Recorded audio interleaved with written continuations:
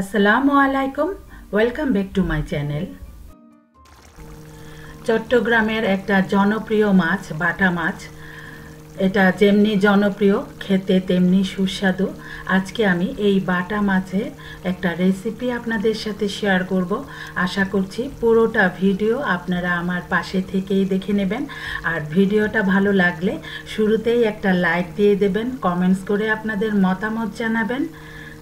আর খুব বেশি ভালো লাগলে ফ্রেন্ডস অ্যান্ড ফ্যামিলির সাথে শেয়ার করে দেবেন।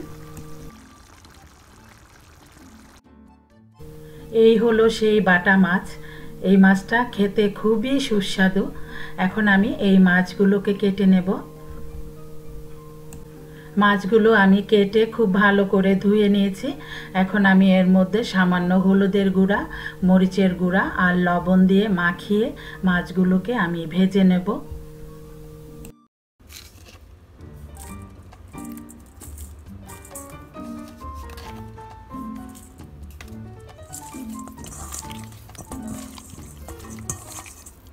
হলুদ মরিচের গুঁড়া আর লবণ দিয়ে মাছগুলো মাখিয়ে আমি এক পাশে রেখে দিলাম।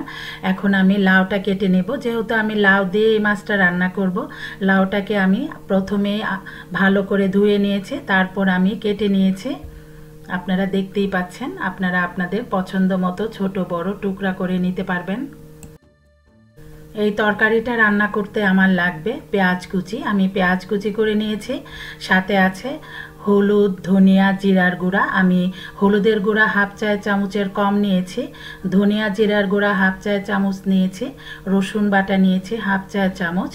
আর আমি কিছু কাঁচামরিচ পেস্ট করে নিয়েছি। আপনারা চাইলে কাঁচামরিচ কেটেও দিয়ে দিতে পারেন। এই রান্নাটা আমি কাঁচামরিচের ঝালেই রান্নাটা করে নেব। আমি কোনো শুকনা মরিচের গুঁড়া দিব না এখানে।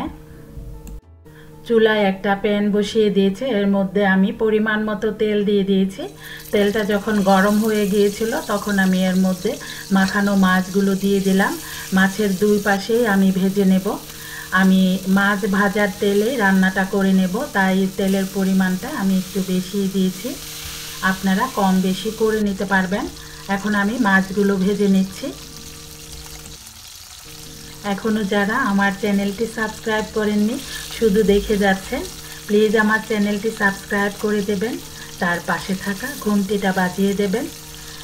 আর যারা সাবস্ক্রাইব করেছেন, তাদের অসংখ্য ধন্যবাদ। মাছগুলো ভাজা হয়ে গিয়েছে, আমি উঠিয়ে নিয়েছি।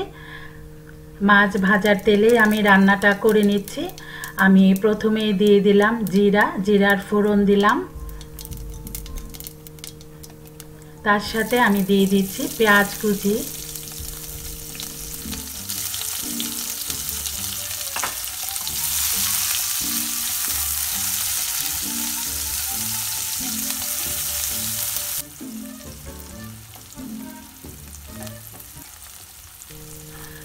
পেঁয়াজ কুচিগুলো আমি কিছুক্ষণ ভেজে নেওয়ার পর দিয়ে দিচ্ছি। রসুন বাটা। রসুন বাটাটা দিয়ে আমি একটু এই রসুন বাটাটা পেঁয়াজের মধ্যে ভেজে নেব। এখন আমি বাকি মশলার গুঁড়াগুলো দিয়ে দেব। এখানে হলুদের গুঁড়া, ধনিয়া, জিরার গুঁড়া আছে, আমি এগুলো দিয়ে দিলাম। সাথে সামান্য পানি দিয়ে দিচ্ছি যেন মশলাটা পুড়ে না যায়।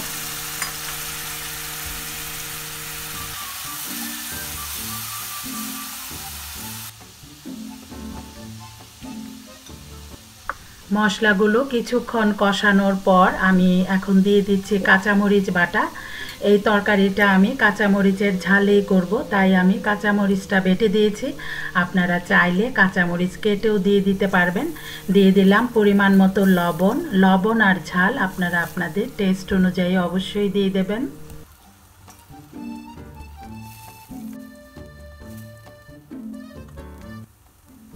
দিয়ে দিচ্ছি পানি। পানি দিয়ে ঢেকে আমি মশলাটাকে আবারও কিছুক্ষণ কষিয়ে নেব।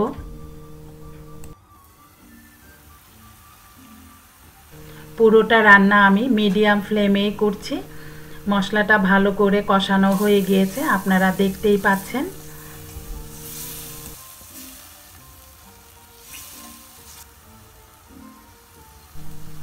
এখন দিয়ে দিচ্ছি লাউগুলো। লাউ দিয়ে বাটা মাছের এই তরকারিটা খুবই মজার হয়। আপনারা অবশ্যই বাসায় একবার হলেও ট্রাই করবেন।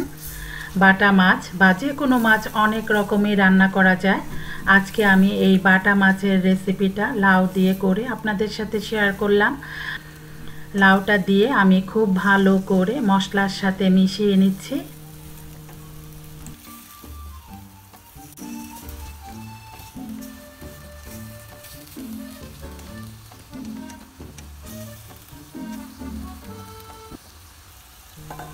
দিয়ে দিচ্ছি টমাটো। আমি দুইটা টমাটো কেটে দিচ্ছি। টমাটোটা দেয়াতে মাছের টেস্টটা অনেক বেশি ভালো আসবে।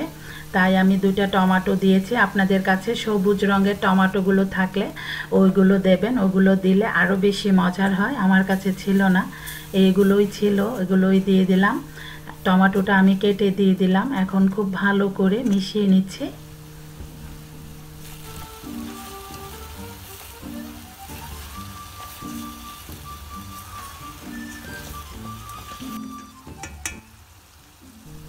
দিয়ে দিচ্ছি পানি। আমি পরিমাণ মতো পানি দিয়ে দিচ্ছি। আপনারা যদি তরকারিটাতে ঝোল বেশি রাখতে চান, তাহলে পানি, পানির পরিমাণটা বাড়িয়ে দিতে পারবেন। আমি খুব বেশি ঝোল রাখব না, তাই আমি আমার পরিমাণ মতোই পানিটা দিয়ে দিলাম।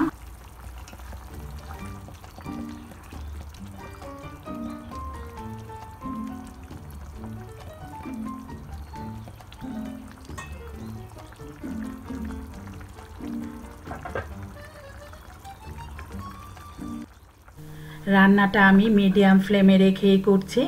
এখন ঢেকে দিয়ে দিলাম চার মিনিট। ঢেকে রান্না করে নেব। এর মধ্যে আমার লাউগুলো সেদ্ধ হয়ে যাবে।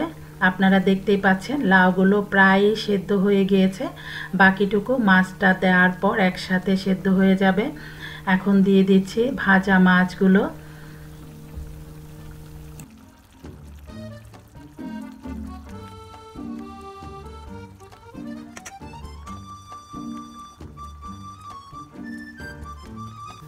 আমি কিছু কাঁচামরিচ ভেঙে দিচ্ছি ঝালটা ছড়ানোর জন্য। কাঁচামরিচগুলোর একদম ঝাল নেই, তাই একটু ঝালটা ছড়ানোর জন্যই কাঁচামরিচটা ভেঙে দিয়েছি। আপনারা যদি ঝাল খেতে পছন্দ না করেন, তাহলে কাঁচামরিচগুলো আস্ত দিয়ে দেবেন। খুব সুন্দর একটা ফ্লেভার আসবে। দিয়ে দিলাম বেশ কিছু ধনিয়া পাতা কুচি। আর এখন আমি দিয়ে দিচ্ছি হাফ চায় চামচ ভাজা জিরার গুঁড়া।